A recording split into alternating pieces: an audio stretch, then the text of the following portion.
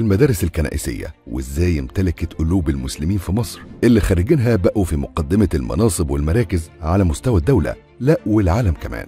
مدارس بيتهافت عليها المسلمين قبل المسيحيين. فإيه السر؟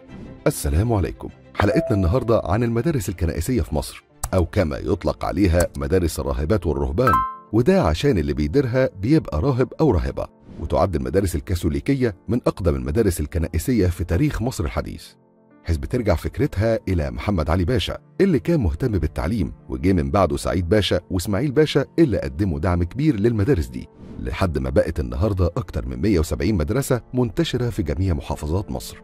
تعتبر مدرسة القديس يوسف أول مدرسة كاثوليكية في مصر وده بدعم من الخديوي إسماعيل اللي بعت 12 فرد من أفراد الأسرة العلوية للمدرسة بهدف إعدادهم لتولي المناصب الرئيسية في الدولة. وبتعرف المدارس الكنائسية في مصر بمدارس الراهبات أو الرهبان وبتنقسم إلى أنواع كتير. أشهرها المدارس الفرنسية وهي أكثرهم انتشارا. ومن أبرز المدارس الفرنسية هي مدرسة الفرير ونوتردام والميرد ديو وطبعا المدارس الكنائسية مش كلها تابعة للكنيسة الكاثوليكية. فهنلاقي إن في مدارس تابعة للكنيسة الإنجيلية ودول عددهم 60 مدرسة. ودول ليهم أمانة عامة مسؤولة عن إدارتهم وتابعة للمجمع الأعلى للكنيسة الإنجيلية. والنوع الثالث هم المدارس الأرثوذكسية وعددهم 50 مدرسة تابعة للإبراشيات المختلفة. ودلوقتي بيتعمل دراسة لعمل قطاع يجمع العمل التربوي للكنيسة ككل. وبتشتغل المدارس دي كلها على تقديم الخدمة التعليمية والتربوية لأبناء المجتمع المصري كله مسلم ومسيحي. ويعد أكتر الطلاب في المدارس دي من المسلمين فبنلاقي نسبة المسلمين في بعض المدارس بتوصل ل 85% وطبعا المدرسين بيبقوا مسلمين ومسيحيين. طب وإيه اللي خلى المسلمين يقدموا عليها بالشكل ده؟ هقول لك يا سيدي عشان أولا طريقة تدريس المناهج في مدارس الراهبات بتكون مميزة جدا لأن القائمين على المدارس دي بيحرصوا على تعيين مدرسين أكفاء عندهم القدرة على تبسيط المادة العلمية وشرحها بطريقة تناسب المرحلة العمرية للطالب وبجانب ده كمان فهم بيساعدوا في تنمية مهارات الطالب وتربيته بشكل إيجابي. ده غير إن مدارس الراهبات بتهتم بتعليم اللغات للطلبة وبتحرص إنهم يتقنوها فبتخرج طلبة متميزين في اللغات. واهتمام المدارس دي باللغات بيبان من بداية وقت التقديم. فبنلاقي إنه بيكون في اختبار للطفل في اللغة عشان تتأكد من مستوى الطفل قبل قبوله. ومن المميزات اللي فرقت مدارس الراهبات عن غيرها هو اهتمامها بمصطلح قديم كده أكيد أنت عارفه وهو التربية والتعليم. لو فاكر كانوا دايما بيقولوا زمان التربية قبل التعليم وده كان من أسرار نجاح المدارس دي.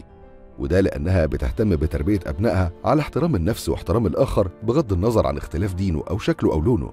واحترام النظام وعدم اختراق القوانين سواء قوانين المدرسة أو القوانين العامة. وبتزرع فيهم حب العمل وإتقانه والتعاون والمشاركة الإيجابية وتحمل المسؤولية والالتزام بيها. وبالتالي نظام الدراسة فيها قائم على الحزم واتباع التعليمات. عشان تخرج شخص ملتزم مش بيكسر القوانين.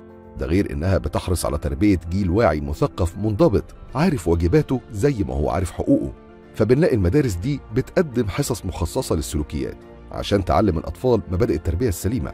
وبنلاقي إن المدارس دي بتقوم بالتواصل الدائم مع أبنائها اللي بيمروا بظروف صعبة أو مشاكل حتى لو كانت مشاكل شخصية أو نفسية زي فقدان أحد الوالدين أو انفصالهم. وهنا بنلاقي دور بارز وقوي للمدرسة في رعاية الطلاب دي لحد ما يعدوا الصعاب اللي بتواجههم. ده غير إنها بتتواصل مع كل أبنائها في الأجازات لزرع الهمة والنشاط فيهم من خلال العمل الجماعي أو العمل الفردي وده عن طريق تكلفة الطلاب بمشاريع يقوموا بعملها في فترة الأجازات. والقيم والمبادئ السامية دي هي اللي ميزت مدارس الراهبات عن غيرها من المدارس وده اللي خلى أولياء الأمور المسلمين يقبلوا عليها قبل المسيحيين ويفضلوها على غيرها من المدارس الخاصة والإنترناشونال. وبتقوم مدارس الراهبات برضو بالاحتفال بجميع المناسبات الوطنية والاجتماعية والدينية فبنلاقيها بتقوم بالاحتفال بالمولد النبوي الشريف زي ما بيحتفلوا بميلاد السيد المسيح. وده عن طريق إلقاء الخطب في الإذاعة المدرسية عن سيدنا محمد صلى الله عليه وسلم وعن أخلاقه اللي يجب عليهم اتباعها. وده طبعا بيقدمه المدرسين المسلمين اللي موجودين في المدرسة. وكمان بنلاقي إن في الإذاعة المدرسية في بعض المدارس بيقوموا بتلاوة آيات من القرآن الكريم وجزء من الإنجيل. غير تزيين المدارس لقدوم شهر رمضان وبتقوم بعض المدارس بإقامة إفطار جماعي لأبنائها وهنا بنلاقي وحدة وطنية ملهاش مثيل. وبجانب المميزات دي بنلاقي إنها بتراعي الجانب المادي حيث إنها أقل تكلفة من المدارس الخاصة والمدارس الانترناشونال. فبنلاقي إن متوسط أسعار مدارس الراهبات بتناسب الفئة المتوسطة في مصر. بس طبعا مفيش حاجة خالية من العيوب. فبنلاقي إن من عيوب المدارس دي هي صعوبة القبول فيها لأنها بتقبل عدد معين بس كل سنة وبيكون الأولوية للي سنهم أقرب لست سنوات. فلو الطالب سنه خمس سنين وأربع شهور ممكن يلاقي صعوبة في الالتحاق بالمدارس دي. ده غير إن الطالب وأهله بيتعمل لهم اختبار لتحديد مستوى الأهل والطالب في اللغة الإنجليزية. ومن أهم خريجين هذه المدارس في مجال الفن الموسيقار العظيم فريد الأطرش ودون جوان السينما المصرية الفنان رشدي أباظة والممثل نجيب الريحاني المعروف بزعيم المسرح الفكاهي وكمان الفنان عمر الشريف اللي ظهر في العديد من أفلام هوليود وطبعا المخرج السينمائي يوسف شاهين ده غير المغنية والممثلة ليلى مراد ودي واحدة من أبرز الفنانات في الوطن العربي وطبعا الفنانة يسرى اللي اختيرت في سنة 2006 كسفيرة للنوايا الحسنة من قبل برنامج الأمم المتحدة الإنمائي.